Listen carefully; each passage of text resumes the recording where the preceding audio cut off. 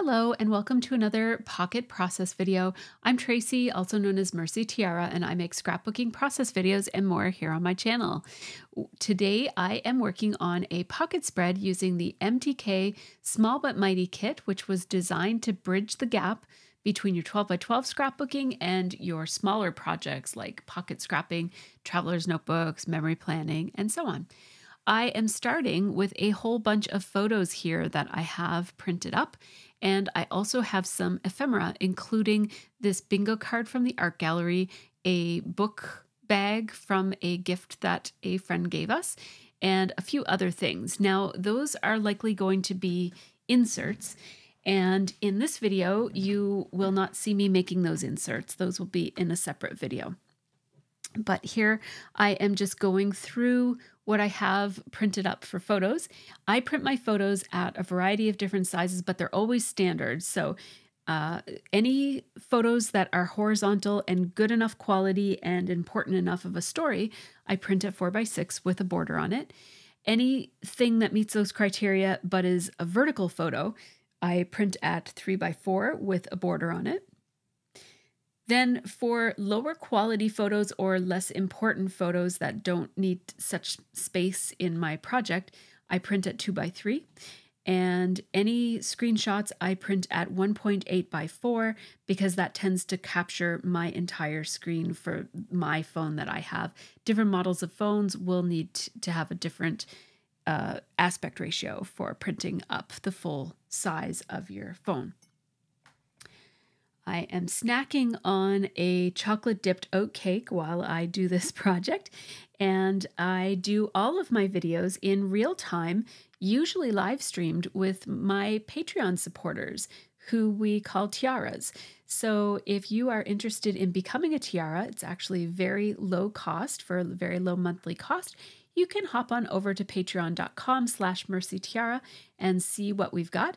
You can join for free uh, and get limited access to a few of my posts. But if you'd like full access, the lowest tier is $2, and I have a pay what you can approach where no matter how much you you subscribe to, you get access to all the tiers. So one amount gets you access to every single thing.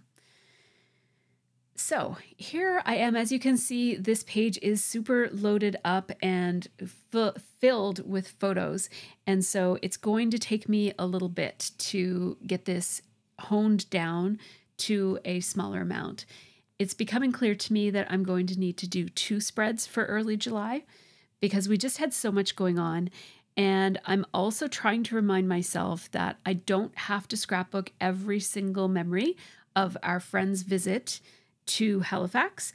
I'm only trying to capture the highlights because they because I plan to capture their trip here as a whole separate 6 by 8 album.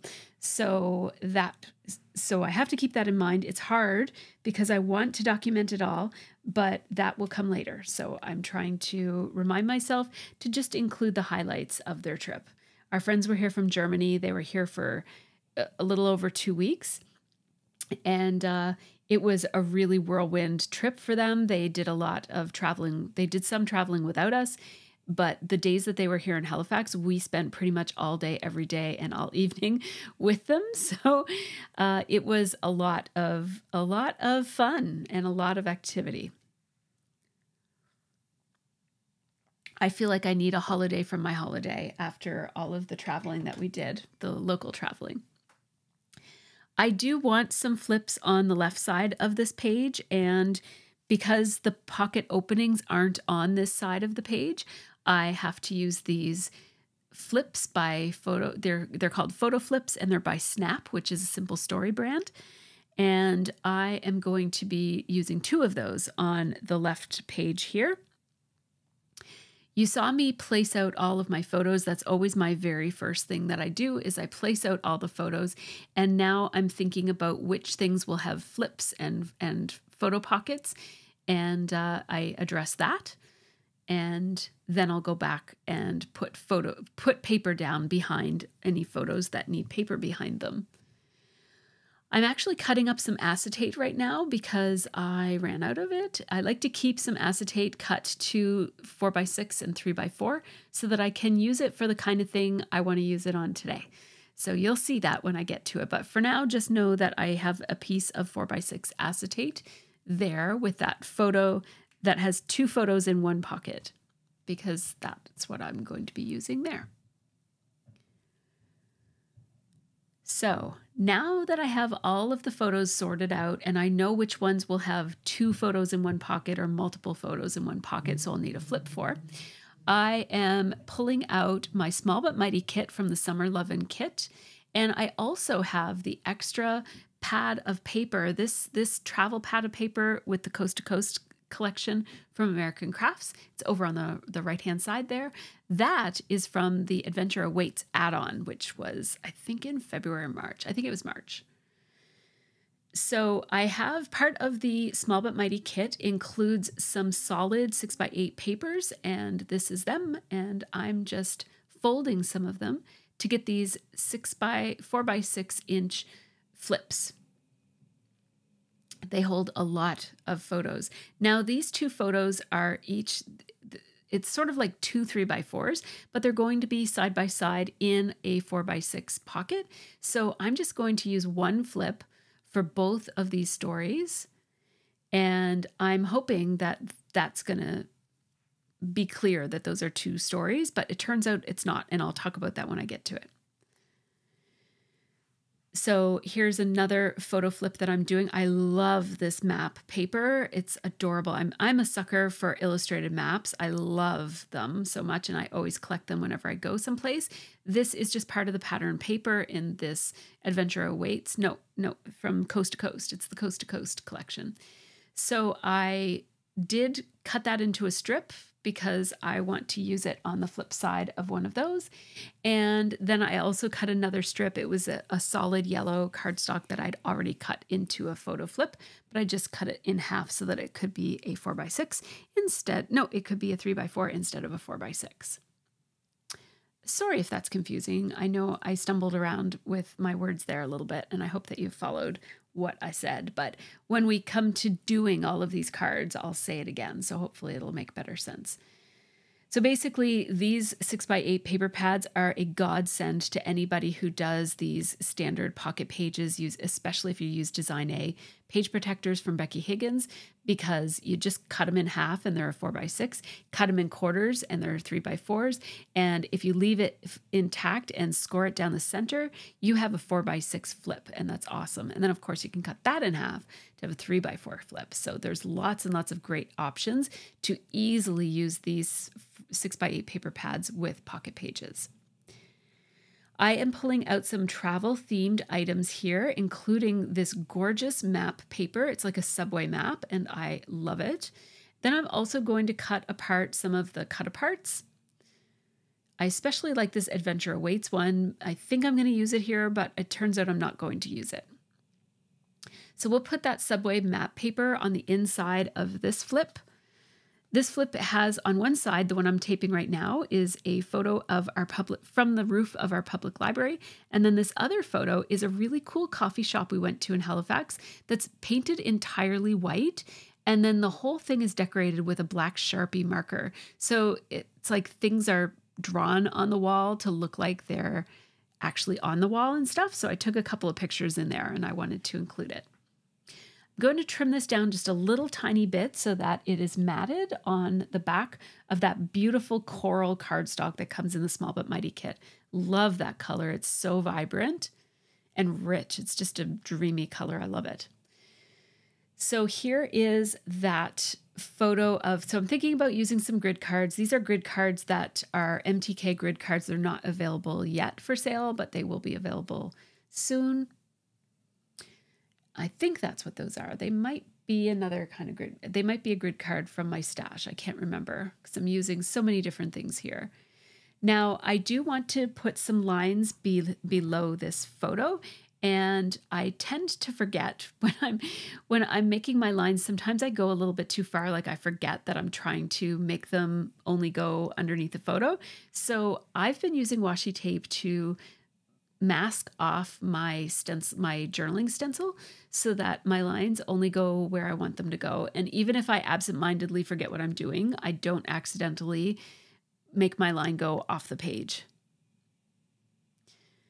So there we go. And with this kind of a stencil, the center there is broken, but you just you just hand draw it in and it looks a little bit shaky and not perfect, but once you've got your words on those lines, you won't be able to notice at all that those lines are imperfect in the center part.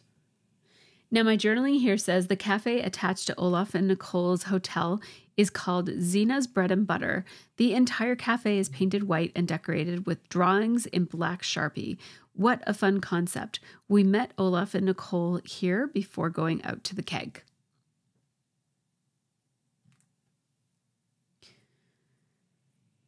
So that's that part of it. And now I do have to do more journaling above the other photo. These photos are, of course, the exact same size because I print all my photos at standard sizes. So they're both three by four. That means that I can use the same journaling lines with the washi tape already there to keep me from going too far with those lines. I'll just attach them to each other here by hand and then do more journaling. This one says Nicole wanted to visit our public library because she had read about its unique architecture and features. It was fun seeing the city from its rooftop. This Pride book display was eye catching. The girls took pics of seagulls from the rooftop too. And I wanted to remember that the girls took pictures of seagulls from the rooftop because I want to scrapbook about that because the Summer Lovin' kit has this fantastic seagull paper that I definitely want to use for those photos, which they sent me. So I'm having a look at some of the other things that come in the small, not in the small but mighty, but in the Summer Lovin' 12 by 12 kit. And it has these fun embellishments, and I'm just looking for something to put here and I am going to end up finding this one. It says Easy Breezy, and I love this, but I feel like it's all going to be a little bit too dark if I put this on that subway paper. So, what I've decided to do is just mat it in some white. So, I'm just hand cutting around it to give it a little bit of a white edging or border around the outside edges. And I'm not being too careful about how I cut that. I just want it to be a border. Doesn't have to be perfect, which is a good thing because it isn't. so here comes my next flip. I do tend to do my flips first because they're the most fun and the most uh, labor intensive. So getting them done helps with my energy levels. If I run out of energy, I don't have the hardest things to do at the end. So here's a photo of the girls making bracelets before going to Germany for their uh, Taylor Swift Eras tour that they're going to.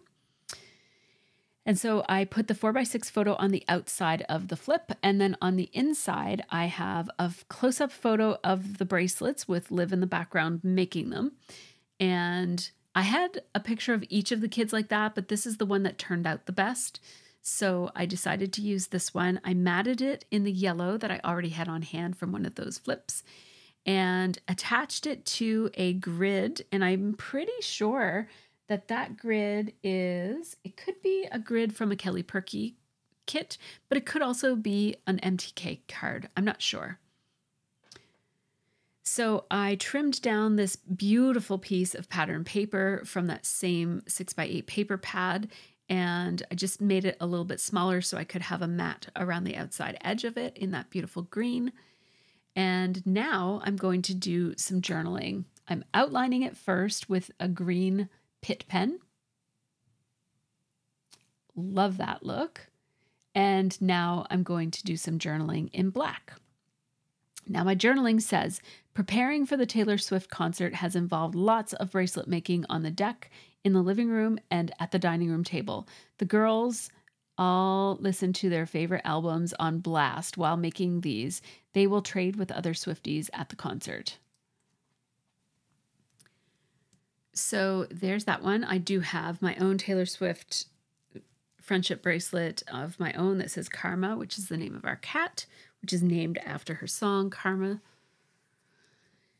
And now I need to find something to put on the top of this card. like on the on the flip side of this card. So I found this one that says all things sunny. I just thought it was cheerful and bright and worked really well with that pattern paper. So I'm gluing it in the middle and then I'm just going to do scribbly doodly lines around the outside edge of it just to make it feel anchored on the page. And I really do like that flip. So now the two tops are done of that page. And now let's work on this card. So this is a meme from that I found on Facebook. I'm just cutting off some of the extra parts of it so that it's just the meme. And it says in every relationship there is one person who stacks the dishwasher like a Scandinavian architect and one who stacks it like a raccoon on crystal meth. And uh, I would I just to give you a hint of which one I am, I am not the Scandinavian architect. So we we have moments in our house where where people stand in bewilderment of my of my dishwashing skills, of my dishwashing loading skills, and uh, wonder what planet I came from. But you know what? It all gets washed. It's all fine. It's sanitized. It's washed. It's okay if something touches another thing. That's what I think, anyways. Um, however, there are people in my family who do not believe that. They think that nothing should ever touch anything else. do you have any, um, do you have conflict over the dishwasher? Is that a thing in your house? And which side are you on? Are you the raccoon or are you the Scandinavian architect? I'd love to hear, so leave me a comment below. Raccoon or architect? Here I am adhering this photo, which is the secondary photo, I'm adhering it to the piece of acetate. And then I'm going to back the photo on the other side of the piece of acetate with a three by four inch piece of this patterned paper. And I'm just going to glue it on like that. So basically, the acetate is sandwiched with a photo on one side and a piece of pattern paper on the other side. And this whole thing is going to go into a photo flip and it'll be see through so that you can see Liv on the one side of it, and then the other side will have the photo. However, I'm going to change my mind about that because I didn't. I realized that I didn't actually want two photos of Liv layered on top of one another, so you'll see what I do instead. First, I'm going to use these stickers that came in the Small But Mighty kit, and I'm going to use them to spell out Making Swifty Bracelets. Once I get the word making done, I am going to outline it with my Gelly Roll, Gelly Roll White marker. It's a Gelly Roll 10, which is the thicker of the two that I have. I have an 8 and a 10. And this just really brightens up these letters quite a bit more than they were when they were just plain on the card. I will also outline the tile letter stickers, just the outside square edges of them.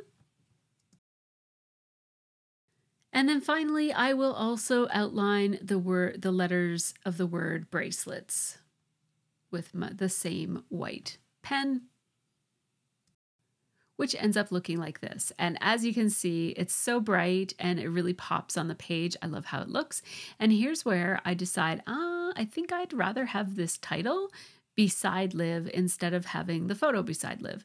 So instead of taking it all apart, it's only a thin piece of acetate. It's okay. So I decided that what I would do is just cut it.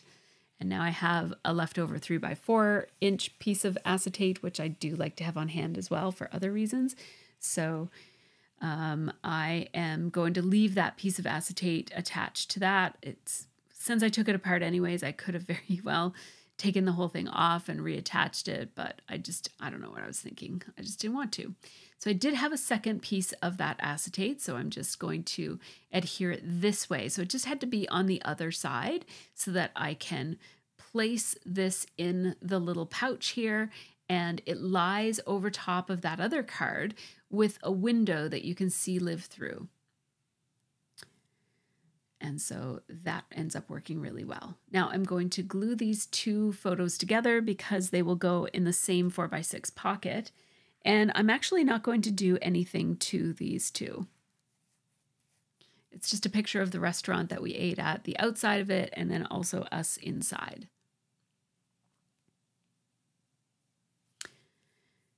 Next, I have this photo of Jen and the girls at the movie theater. Jen took them to see Inside Out 2.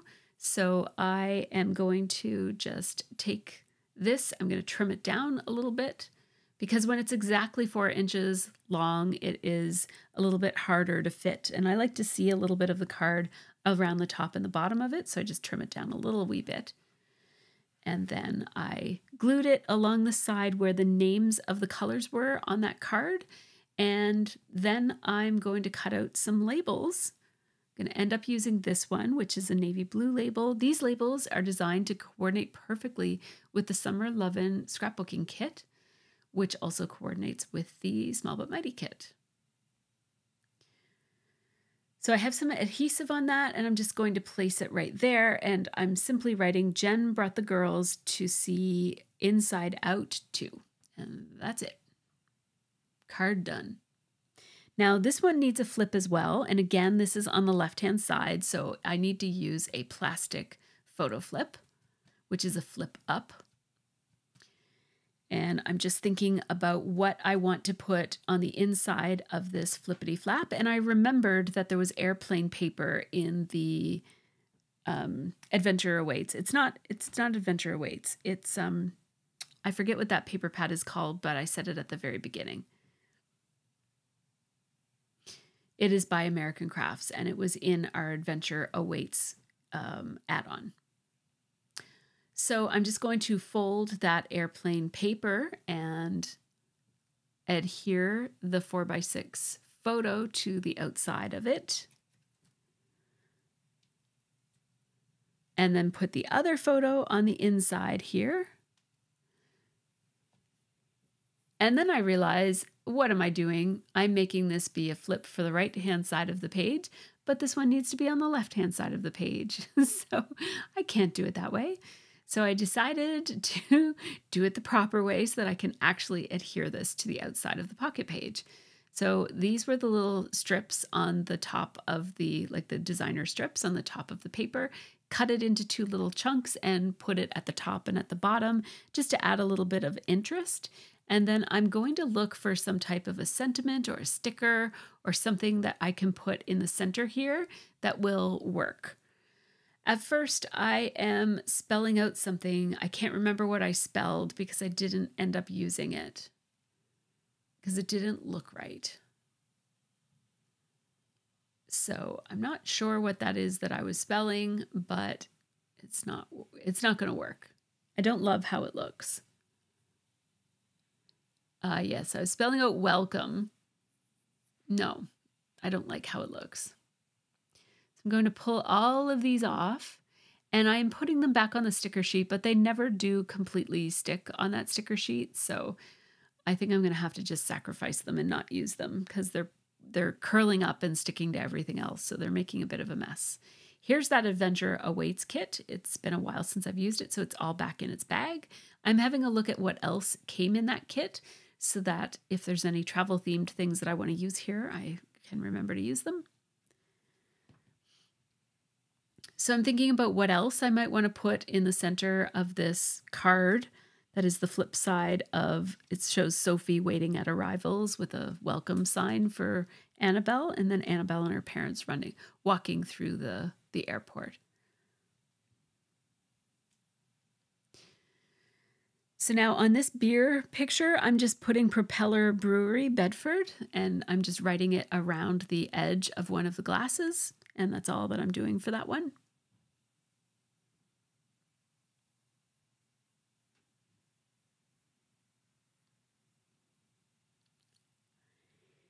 Here's another flip. On the inside, I'm placing this photo of on the on the outside i'm putting the photo of the citadel and her she taking the picture of the citadel. And then on the inside i'm taking a picture of nicole with her camera in the daytime. Just going to trim that down. And that's it for that. I love that map paper on the other side of it And now in this one, I am documenting. I've got several screenshots here of the New York Times puzzle app or games app, which we play every morning. We've been playing it for a couple months now, every single morning. We do the connections and the strands. We do not do the Wordle. I'm not a fan of Wordle. I actually really dislike Wordle. Um, but we love connections and they recently started strands and we like that one too. So I'm spelling out puzzle. These are letters from the Small But Mighty kit from this past month. So this would be the Summer Lovin' Small But Mighty kit. And then I knew that there were letters from the others, the original Small But Mighty kit, which was put out last fall. And it has these purple letter stickers in it that pick up on the purple in the connections puzzle. And because connections is one of the puzzles that we actually do, I thought it would be nice to emphasize it by picking up on the color. So there we go. I am going to put those stickers back into the original Small But, Small but Mighty kit that they came in so that if I need to find them again, I know where they're at. I am cutting off the phone header and footer on these photos so that they're quite a bit shorter than they otherwise were. And the top photo just shows that we have a group chat that consists of both of my daughters and my husband and I. And we just text each other back and forth what our scores were on these puzzles every day. We kind of race to see who can finish it first and get to post first without making any any errors. And uh, so this says Scott and I have been doing the connections puzzle daily for several months. It's our way of connecting in, in quotations before our busy days start. So we just kind of sit down on the couch and do it quietly together. And sometimes we'll help each other out, but we try not to. Usually we don't want the other person's help. sometimes, sometimes we do. we're not super competitive, but sometimes sometimes we get a little competitive. looking for something that I can just put in this little spot here and just in this little gap. Just felt like it needed something, so I'm just grabbing some pattern paper. That other photo is just an example of what the connections puzzle looks like when you're in the middle of trying to solve it.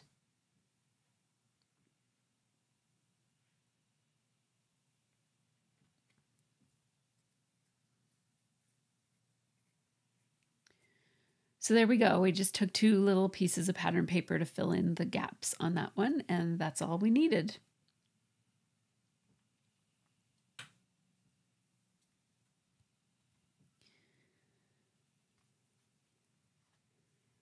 Now for this one, I have this beautiful stripy paper that I scored down the middle to make a flip. And I put one photo on the outside and one photo on the inside. And then on the flip side, I have to decide what I'm going to do. So I'm trying to see if I have all the letters that I need for Cafe Lunette. And I'm also spelling it out on a piece of paper so that I can tell where the center is and then go out from there. I'm using these very large letter stickers that come in the Small But Mighty kit. There's two sets of these green ones and two sets of the yellow ones in this kit, as well as several sets of the keys letter stickers. So I put lunette in the larger letters and then I put cafe in the smaller letters. Then I've got this giant gap at the top of the page here. I didn't have an E, so I just used an F and then took a branch of something else to make it into an E.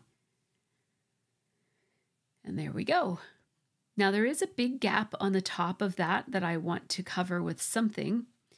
And I would love it to be that pattern paper. So let's find a bigger piece of it. There, there it is. So that piece is the perfect width, of course, because it's four by six. So let's take a piece of it. I'm marking it and I will trim it down. And then I'm going to take my border punch. This is the double embossed dotted lace border punch, which is a misnomer. It's it's not actually embossed or dotted or lace. it's a it's a large scallop. Um, and I am going to outline the edges of it. It looks a little bit like a cafe curtain, I thought, as I outlined those scallops, and I thought that was kind of nice since it is a cafe. It was a it was fancier than a cafe. It was like a little bistro-y type of restaurant is what it was. Not not exactly a cafe.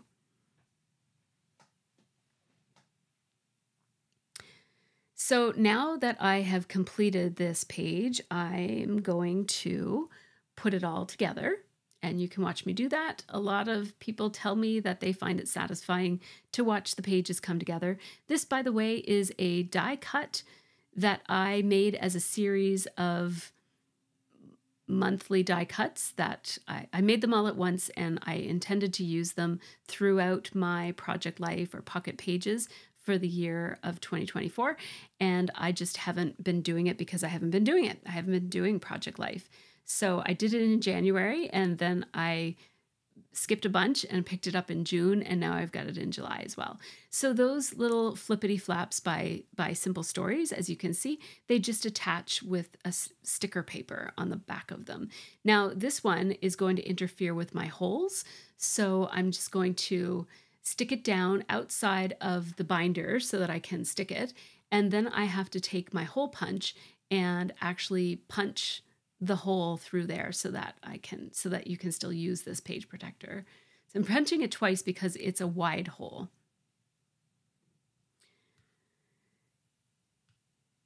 So before I end this video, I just want to do a quick shout out to my Patreon supporters. These folks help make this channel happen, so big thanks to all of them. Patrons get early ad-free access to all of my videos and process videos, and also real-time unedited versions of my videos, usually in the form of a live stream. I'm live streaming weekly for now. Uh, and I'm really loving it. And we've got quite a little crew of people who join every week, and that's really fun and nice. And we get to know each other quite well and support and inspire one another. It's really quite lovely. So there's also behind the scenes videos of my room and my process and the warehouse as well. So thanks to them, and thanks to you also for watching all the way to the end. I do hope that you enjoyed this pocket process. And if you did, please leave me a comment below and let me know and give me a thumbs up as well. Take care and have yourself a really great scrappy week.